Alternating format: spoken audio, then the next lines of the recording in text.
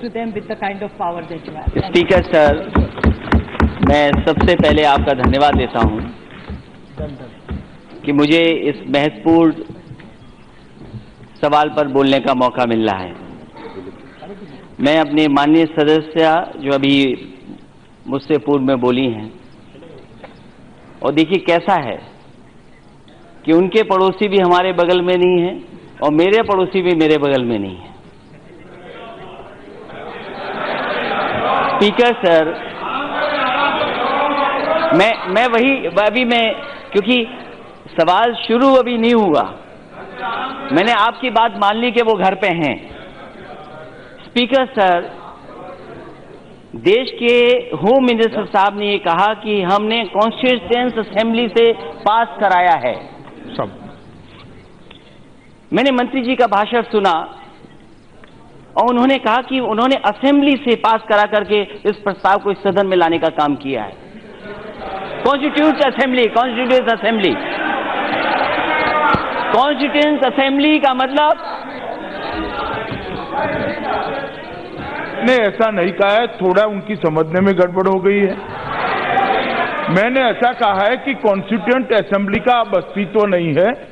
और राष्ट्रपति महोदय एक कॉन्स्टिट्यूशन ऑर्डर लेके आए हैं कि constituent assembly means assembly of Jammu and Kashmir ऐसा नहीं स्पीकर सर माननीय मैं- मैं- नहीं होंगे स्पीकर सर मैं यही चाहता था। स्पीकर सर मैं ये चाहता था एक बार एक बात और आ जाए। भी बोल रहे हैं रिकॉर्ड में भी आप चाहें तो मैं बता स्पीकर साहब सहमत हूँ जो आपने कहा लेकिन ये बात मैं एक बार दोबारा सुनना चाहता था। मैं इसलिए कि मैं एक एक किस्सा सुनाना चाहता हूँ क्योंकि समय नहीं है लेकिन आप मेरे को किस्सा नहीं सुनाने देंगे।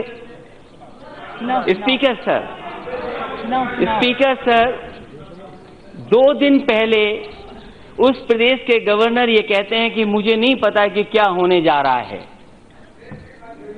और 48 घंटे के बाद क्या हुआ वो पूरा देश जानता है।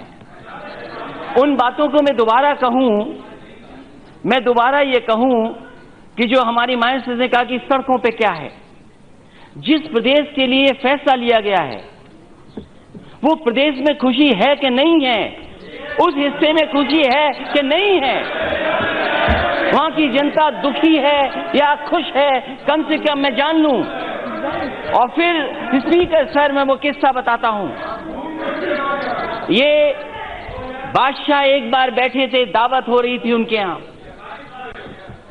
बड़े बड़े मंत्री, महामंत्री, सलाहकार सब बैठे थे।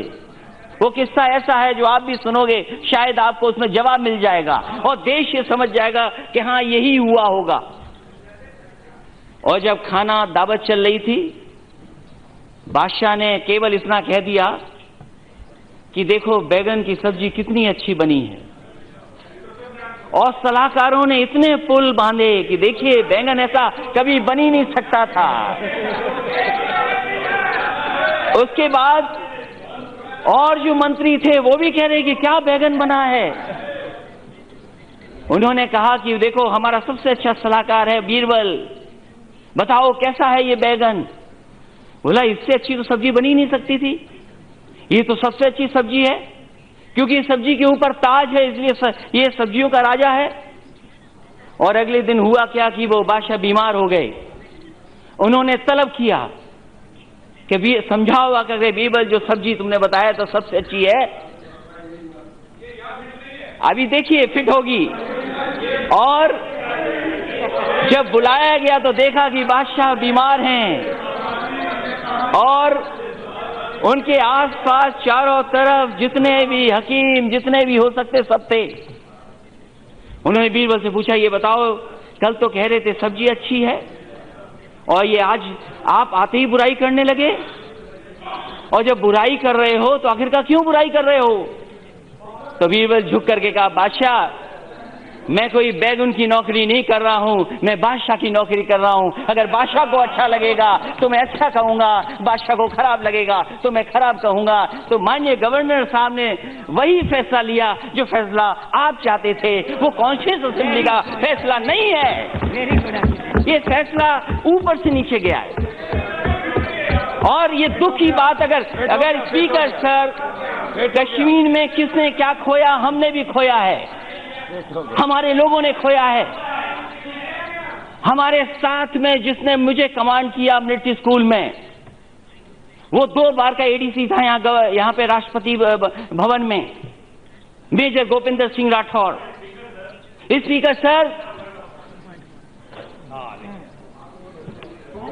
नहीं सर। ओके नहीं नहीं I am not yielding him I am not yielding him speaker sir आप बोलते ये स्पीकर सर मैं कहना चाहता हूँ वो यहाँ से गया अपनी नौकरी छोड़कर। I am not yielding you I am not yielding you I am not listening. I am not yielding. I am not yielding. गोप मेजर गोपिंदर सिंह राठौर यहाँ से नौकरी छोड़ के गए। और वो शहीद हुए। वो आतंकवादियों के सामने शहीद हो गए। मैं जिस स्पीकर सर मैं जिस मिलिट्री स्कूल से पढ़ा हूँ, मेरे फौज के लोग न जाने कितने शहीद हुए हैं। और अगर फौज के लोग बैठे हों या अगर कोई यहाँ फौज के बारे में समझता हो तो मेरे स्कूल के पढ़े हुए न जाने कितने नौजवान शहीद हुए हैं वहाँ पर। जो दो बार राष्ट्रपति जी के साथ एडीसी रहा हो, वो शहीद हो गया वहाँ पर। क्या हम कश्मीर के लिए क्या हम नहीं हैं? क्या कश्मीर को हम नहीं चाहते क्या? क्या हमारे देश का कश्मीर नहीं है क्या? मैं जानना चाहता हूँ स्पीकर सर ये बोलते हैं कि सत्तर साल में, सत्तर साल में कुछ नहीं हुआ। मैं आपसे जानना चाहता हूँ कि ग्यारह साल तो आप अपने क्यों नहीं गिनते हो? अरे सत्तर साल बदलो। अब हाँ वो तो मुझे लगता है कौन कौन कंफ्यूज हुआ है। कंफ्यूज तो बहुत, पूरा देश कर रहे हो और कंफ्यूज इसलिए कर रहे हो कि जब से ये लोकसभा सत्र शुरू हुआ है, आपने देश के 20 करोड़ लोगों के लिए काम किया है। अभी 110 करोड़ लोगों के लिए काम आपने नहीं किया है। अभी तक स्पीकर महोदय 20 करोड़ लोगों के लिए काम कर रहे हैं। और मैं जानना चाहता हूँ 11 साल अपने गिनिए। और पाक ऑक्युपाइड कश्मीर मेरा सवाल है स्पीकर महोदय सरकार से। कि क्या पाक ऑक्युपाइड कश्मीर किसका हिस्सा है, ये सरकार बताए। ये सरकार बताए। और ये बताइए कॉन्स्टिट्यूंट असेंबली में स्पीकर सर कॉन्स्टिट्यूंट असेंबली में बताइए 24 सीटें खाली हैं कि नहीं खाली हैं अभी? आप क्यों नहीं भर पाए? आप, आपसे नहीं सुनना चाहता हूँ कौन भर पाएगा? आप नहीं भर पाओगे। अगर भरने का भरोसा कोई दिला सकता है तो देश के होम मिनिस्टर दिला सकते हैं।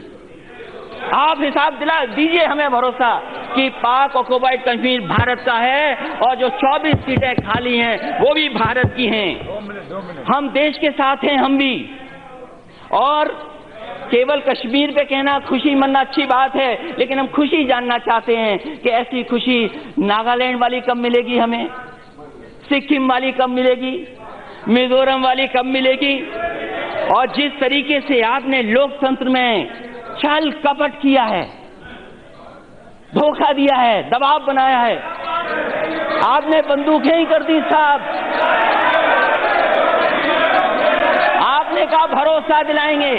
अगर वो शब्द अनपार्लियामेंट्री निकाल दीजिए आप। माननीय अगर शब्द निकाल दीजिए। मान्य। आपने कहा सबका साथ सबका भरोसा। कार्रवाई से निकाल देना। कार्रवाई से निकाल। निकाल दिया कार्रवाई से निकाल दिया।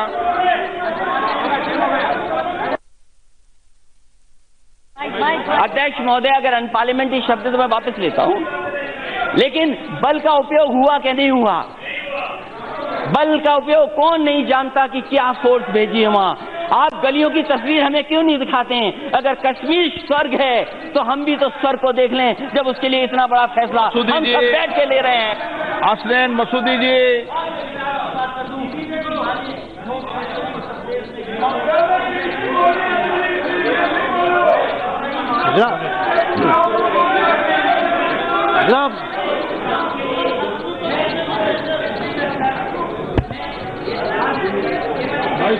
जनाब आप पक्ष में खिलाफ नहीं हो बता दें। स्पीकर महोदय कोई बिल पे बता ही नहीं रहा मुझसे ये कहा गया कि विकास होगा वहाँ पर कश्मीर में।